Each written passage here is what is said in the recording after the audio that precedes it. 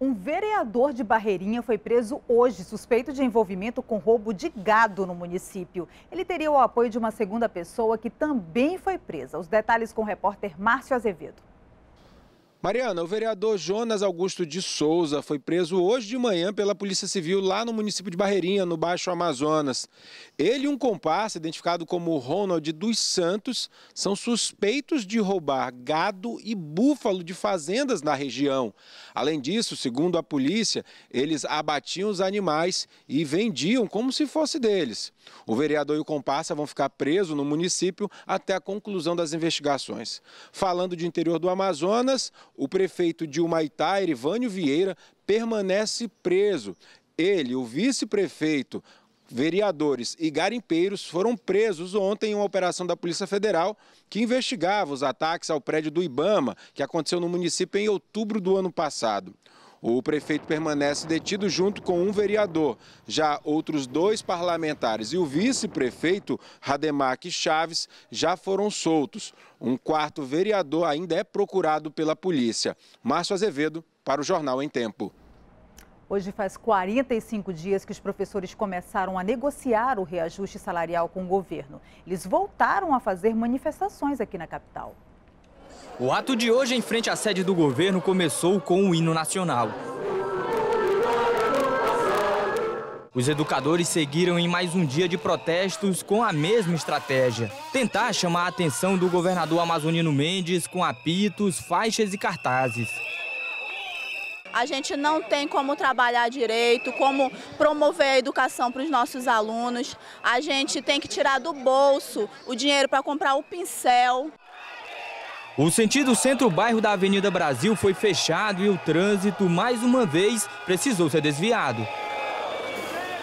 Os grevistas disseram que a tentativa de negociação com o governo chegou aos 45 dias sem sucesso. Hoje, os educadores contaram com a ajuda dos educados. Alunos de várias escolas estaduais aqui da capital se juntaram ao movimento de greve. Por questão de que estamos sem aula, não é por culpa dos professores, é por culpa do governo, porque não foi atendido o reajuste de 35% que eles estão exigindo.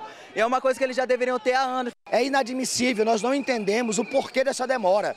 Nós estamos reivindicando 35% de reajuste salarial e nós exigimos que o governador receba o comando de greve e a diretoria do ato sindical para negociar. Durante a tarde, mesmo debaixo de chuva, os professores continuaram com o movimento grevista em frente à sede do governo. Os representantes da classe estiveram reunidos na SEDUC. O governo apresentou uma contraproposta reajustar o salário em 14,5%, sendo repassado de imediato 4,5% e 10% parcelados. Além disso, também pretende promover mais de 3 mil professores por tempo de serviço. Nós vamos definir a nossa Assembleia Geral para retornar ao governo com a nossa proposta, ou se a gente aprova a proposta deles ou não. Leila acompanha os protestos desde o início.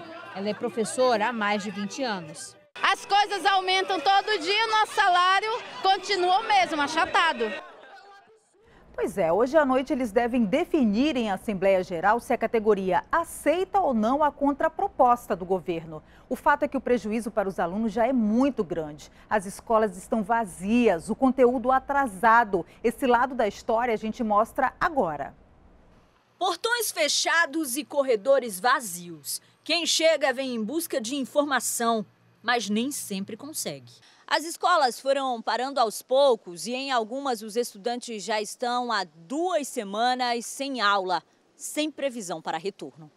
É o caso da Letícia, que estava em semana de provas quando os professores pararam. Ela já está toda preparada para estudar, para fazer as provas, e quando chegar lá, simplesmente eles liberam dizendo que não vai haver, é, não vai poder ser aplicado. Eu não sou contra, porque isso é um direito deles, mas isso também está prejudicando muito os alunos e eu espero que o governador escute os professores, porque isso está prejudicando muito a gente. Se, se continuar ele não aceitando, a gente vai continuar sem aula. Ela é aluna de uma escola administrada pela Polícia Militar, mas que também está em greve. Os alunos chegaram a ir algumas vezes, mas ficaram sem aula. Segundo a Secretaria de Educação, 400 mil estudantes estão sem aula no estado. 15 mil professores de quase 600 escolas entraram em greve em mais da metade dos municípios do Amazonas. Estamos cansados, mas nós só voltamos depois que o governador agir com dignidade, receber a comissão e nos conceder os nossos 35% de reajuste. As manifestações se espalham pela capital. E no interior. Em Presidente Figueiredo, na região metropolitana de Manaus, todas as escolas aderiram à greve. Em Parintins, a greve começou no dia em que o governador do estado passou pela região e foi embora sob protestos.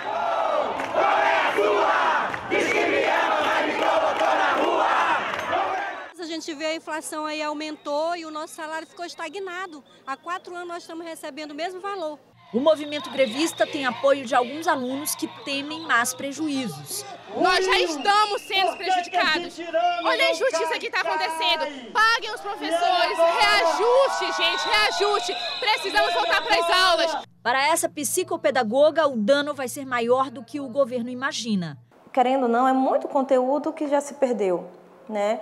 Então, é, é, essa reposição vai ser colocada de que forma? A Secretaria de Educação prometeu repor as aulas aos sábados e durante as férias. Então, o professor vai ter que fazer um replanejamento de suas aulas e, com isso, eles vão acabar suprindo algumas coisas que realmente se fazia necessário.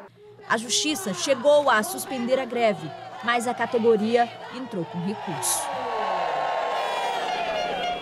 Jornal em Tempo termina aqui. Muito obrigada pela sua companhia e até amanhã.